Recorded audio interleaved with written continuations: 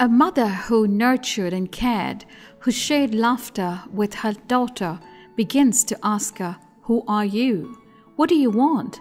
Why have you come to my house?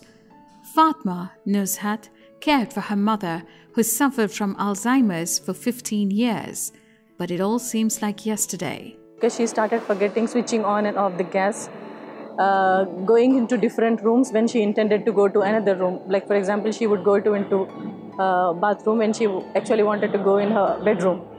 So when we realized that she's missing on these points, uh, we took her to have a CT, and through that we identified that uh, her brain cells were shrinking, and that it is Alzheimer's.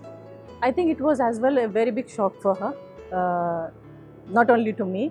As a patient, she wouldn't understand what changes were coming to her, so she was at loss.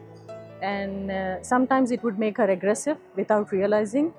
And uh, most of it, if I understand today, after these many years, I understand that she was trying to hide, hide that fact that she she's losing her memory or she is not able to manage certain things.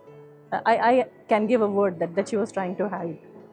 She became my baby and I had to assume the responsibility of being a mother. Even though I was not prepared, but uh, when it falls on you, you, you learn through the process. And uh, through her, I learned myself how, how to be able to treat her, how to be able to uh, manage my stress, how to be able to keep myself away from uh, getting depressed.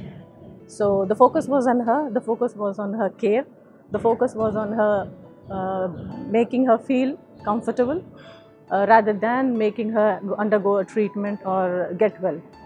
Uh, for any patient of Alzheimer's, the only advice I can give is uh, they don't need medication. As of now, we don't know anything.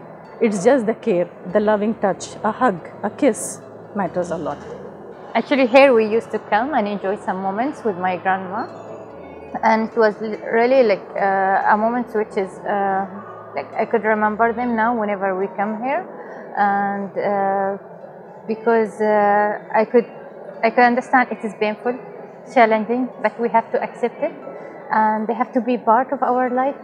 And uh, I as well understood with the time that even if they have lost their memories they, they still need like love and affection from us. And rather they need more attention. Um, I remember some moments like when I used to touch her in the beginning, she used to get uh, some agitate, agitated and uh, she uh, she responds in a, like she's scared and uh, she will react differently. But uh, when I touch her, I hug her. She used uh, to respond to the touch and she used to give us a nice smile.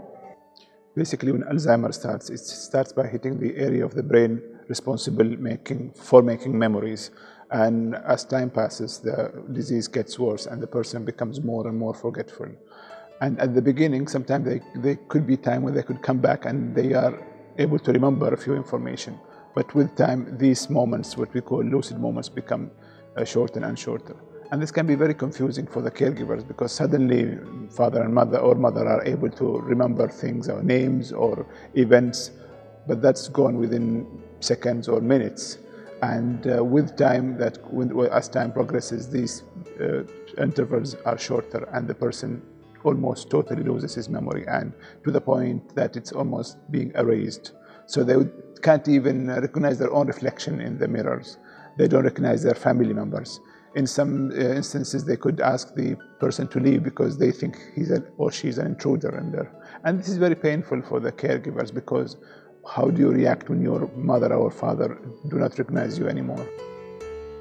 We may not be able to bring their memories back, but we can definitely make their life better with the right care and love.